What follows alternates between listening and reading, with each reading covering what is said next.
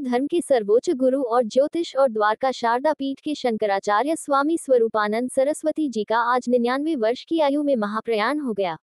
पर महसी गंगा आश्रम झोतेश्वर जिला नरसिंहपुर में स्वामी जी ने आज दोपहर तीन दशमलव तीन शून्य बजे अंतिम सांस सांस ली।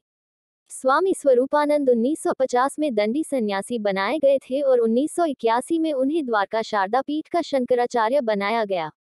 प्रधानमंत्री नरेंद्र मोदी 15 और 16 सितंबर को शंघाई सहयोग संगठन एससीओ के शिखर सम्मेलन में शामिल होने के लिए उज्बेकिस्तान की यात्रा करेंगे। सम्मेलन के दौरान नेताओं के पिछले दो दशकों में समूह की गतिविधियों की समीक्षा करने और बहुपक्षीय सहयोग की संभावनाओं पर चर्चा करने की उम्मीद है। प्रधानमंत्री के शिखर सम्मेलन से इतर कुछ द्विपक्षीय बैठकें करने की भी संभावना है।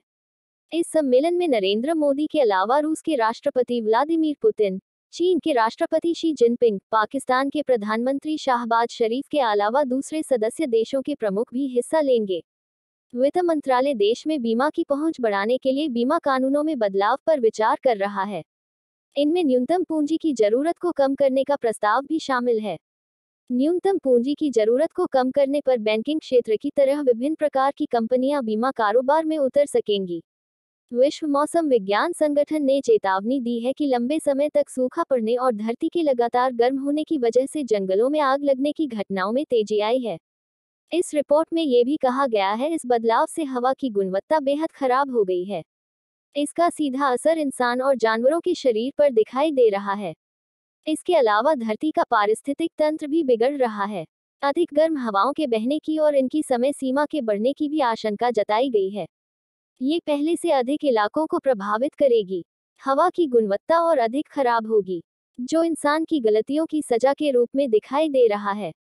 चेतावनी स्वरूप कहा गया है कि यदि सदी के अंत तक धरती का तापमान तीन डिग्री सेल्सियस बढ़ता है, ग्राउंड लेवल ओजोन के स्तर में वृद्धि हो सकती है।